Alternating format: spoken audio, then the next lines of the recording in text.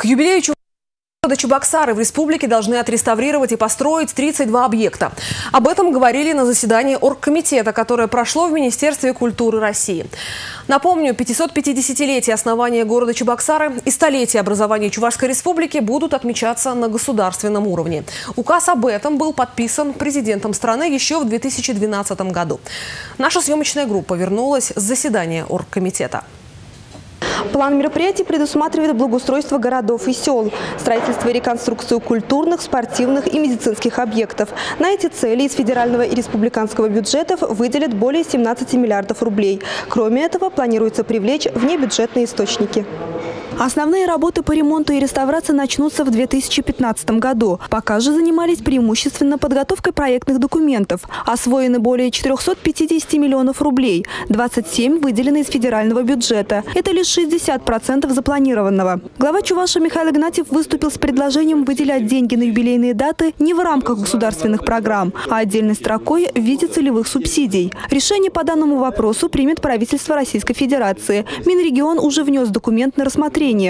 Когда будет отдельной строкой, будет всем понятно, не только нашему региону Чувашской республики и другим регионам, э, которые празднуют свои юбилейные даты, какие средства мы будем получать и на какие цели их будем направлять.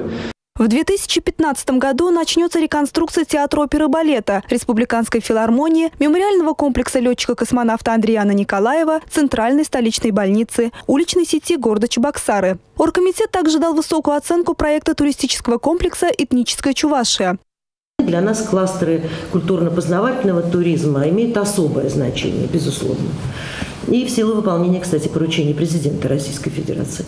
Поэтому кластер у вас очень хороший, этническая чуваш очень важный и для вашего региона, и для страны. Поэтому будем помогать. По словам заместителя министра, в рамках Года культуры есть возможность обновить материально-техническую базу сельских домов культуры, а также закупить автоклубы. Из республиканского бюджета на эти цели выделят 22 миллиона рублей. Документы на софинансирование из федерального бюджета подготовлены и представлены в министерство за счет софинансирования федерального бюджета вы сразу вкладываете, создаете какие-то мощные, масштабные якорные мероприятия, которые э, туристской направленности, не только на свое население ориентированы, но, безусловно, на привлечение туриста, мы поможем их промотировать средствами, которые есть у Министерства культуры сегодня, с тем, чтобы завтра они начали жить собственной жизнью и поставляли вам туристов. Члены оргкомитета приняли решение поддержать бюджетные заявки Чувашской республики. Федеральным министерством дано поручение обеспечить софинансирование из федерального бюджета. Надежда Яковлева, Евгений Анисимов, Республика.